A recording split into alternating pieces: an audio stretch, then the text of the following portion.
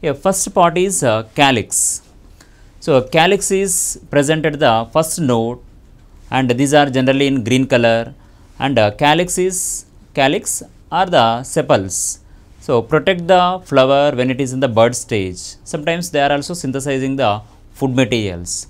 So, calyx is if all the sepals are fused, sometimes the sepals are fused or free. If the sepals are fused, fused sepals. A fused sepals condition is called as gamosepalous.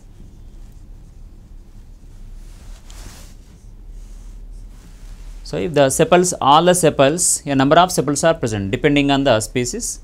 So, the sepals are fused sometimes.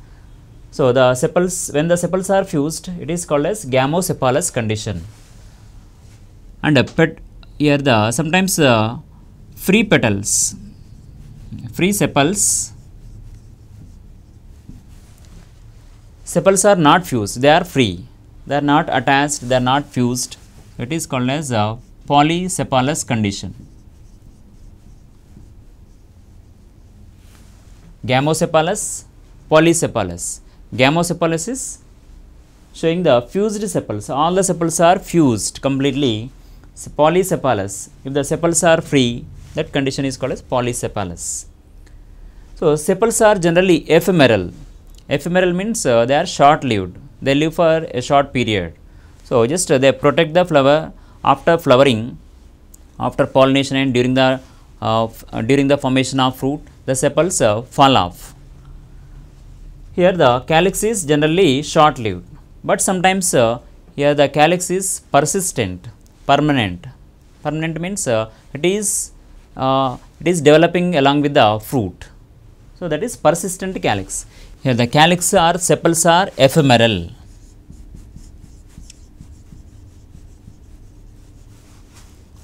Ephemeral means uh, short lived. And sometimes uh, the sepals are persistent and uh, uh, developing along with the fruit. So, persistent calyx is observed in tomato,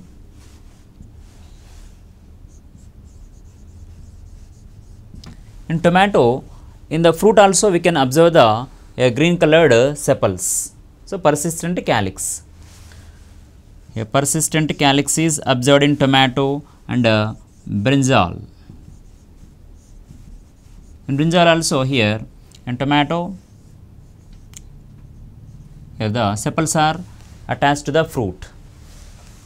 And in the brinjal also here succulent are they are storing food materials are also. Here this uh, sepals are also storing the food materials.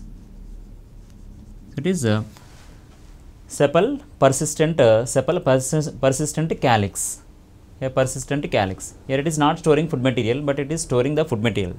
Sometimes uh, the sepals are in hair like structures. Here in the fruit uh, in the cypsela fruit if you observe the cypsela fruit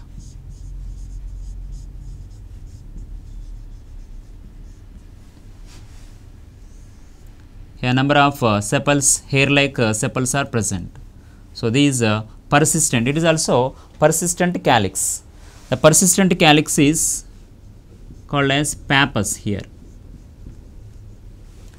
So pappus pappus is useful for the dispersal of uh, fruit. Very small fruits are present in the helianthus or sunflower family. In the sunflower uh, plant in the sunflower family the fruits are called as cypsela fruits so, the cypsela fruits are having persistent calyx, hair-like structures known as pappus. Pappus helps in the dispersal or distribution of uh, small fruits. So, they are uh, move, yeah, they are dispersed from one place to other place with the help of pappus. So, calyx is first of all sometimes gamosepalous fused condition, fused sepals, free sepals and ephemeral, short-lived and in some plants they are uh, here persistent along with the fruit they are developing or uh, they are attached to the fruit also here tomato brinjal and in cypsela fruits are here cypsela in the cypsela fruit also pappus is present uh, so pappus is nothing but uh, here calyx. The calyx is helping in the dispersal of fruits. So, it is about uh, calyx